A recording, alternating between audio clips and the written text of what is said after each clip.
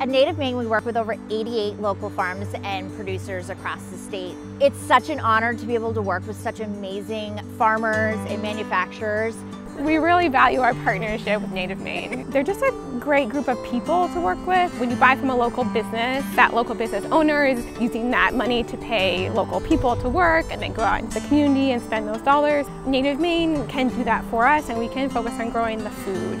We're the pros at growing the mushrooms and Native Maine are the pros at distributing them.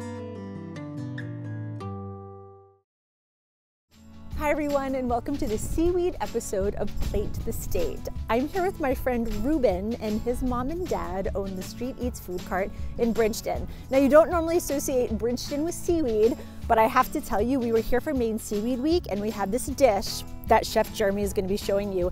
And it is incredible. It uses a lot of different Maine seaweeds and it is so delicious and it's definitely worth the drive. And their food truck is always located at Mountain Range Golf, right on 302 in Bridgton. And they're doing so many awesome things. They're going to be doing a beer garden and an outdoor patio. And it's so worth the drive with your friends and family and come enjoy. You might be able to even meet Ruben. now let's go see what Jeremy and Megan are up to in the food truck.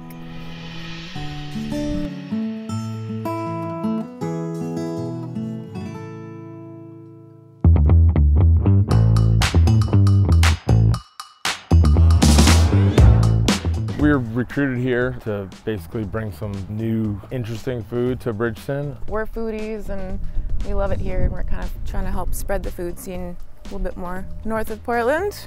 Coming here and being on a driving range to hit a bucket of balls, outstanding way to start your day and to finish it and to break in the middle. It's really an amazing, amazing life to just cook on the food truck and hit some balls and make people happy seeing people's reactions to my food is like the biggest gift of all. Like working in open kitchens and being in a food truck, just seeing their reactions to their first bite of food. Oh, that is so good. Is the most rewarding thing for me. Having my, my life partner with me every day, it's amazing. Like we never thought that we would be able to do that. I'm his sous chef, I'm his partner. Um, they do social media for the most part and I get to be his personal photographer. People ask, you know, what do you recommend? I recommend everything on the menu. We use all local ingredients. We try to, you know, utilize local local farms and local purveyors as much as we can. It really is food with a view, um, and it's you can't beat the sunsets every night. They're incredible. Today's episode, we'll be doing a kombu encrusted tuna tataki with a yuzu kosho kelp puree, some kelp caviar, a little sea bean and edamame slaw. So these are our ingredients for the dish. We have some edamame, some chiffonade radicchio, some pea shoots, some pickled red onions, and a little chive and sea bean. This is uh, some red cabbage pickled lotus root and some baby bok choy. This is my kombu togarashi crust. It's just uh, chili and dried Maine seaweed. This is my ahi tuna. I'm gonna crust it in the kombu togarashi. Just patting it down all four sides, making sure that everything is evenly dispersed.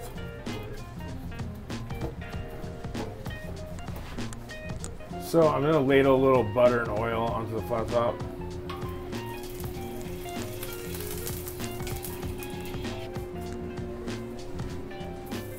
Gonna sear it for 15 seconds on each four sides.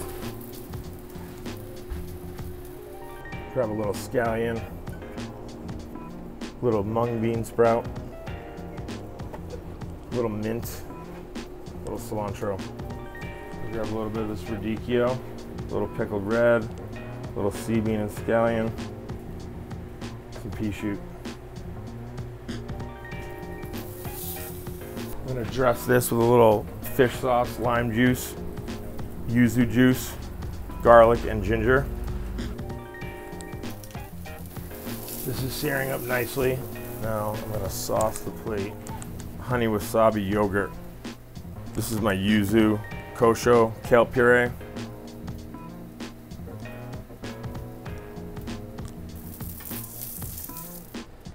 Let the tuna rest for about five minutes.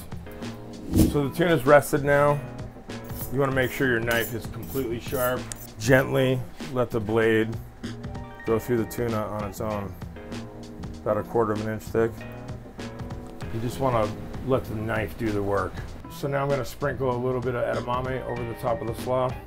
So now I've taken the tuna over to the box and um, laid it over the top of the, edamame sea bean slaw, just slightly separated so you can see the nice flesh of the tuna. This is some of the kelp caviar that I'm gonna place on top of the tuna. Kind of spread it over the top here.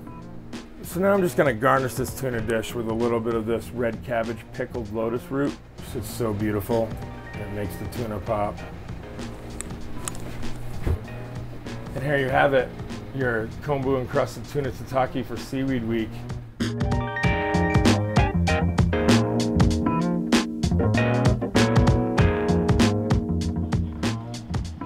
Mm. Oh, that is so good.